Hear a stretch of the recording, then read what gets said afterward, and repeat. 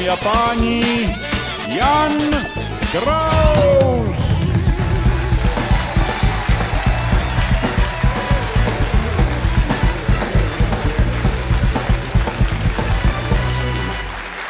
Dobrý večer, děkuji určitě.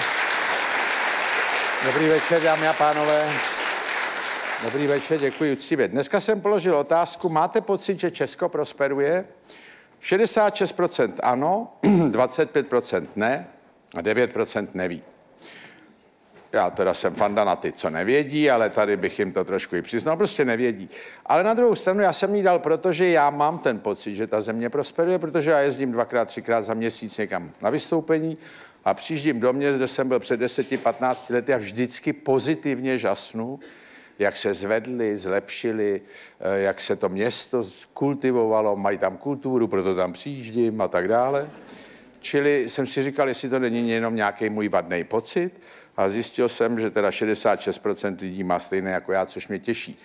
Trošku mi to teď narušily ty maturity, nevím, jestli jste si toho všimli. To je každoroční událost celostátní, že máme maturity. Díval jsem se, jestli se to děje v ostatních evropských zemích. Není to tak. Tam maturity probíhají úplně bez povšimnutí, anebo nikdo nematuruje, nevím. Ale u nás je to událost velkolepého kalibru a každý rok se zjistí, že většina dětí nebo ohromné množství neprošlo, že byli špatně. Teď to dokonce někoho vyhodili za to, jak připravují ty maturity.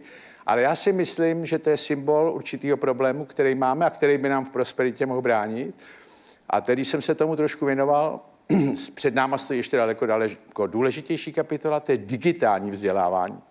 Já jsem toho velkým příznivcem, protože si myslím, že budoucnost bude jenom o tom. Bude měnit profese, bude měnit dějiny, budou-li nějaký.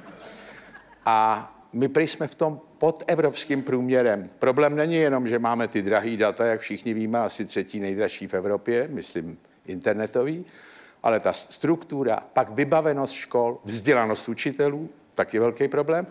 Takže bych prosil, jestli byste to mohli nějak vyřídit, ať už tady bude vládnout kdokoliv, já bych potřeboval, abyste vyřídili digitální vzdělávání k mé spokojenosti.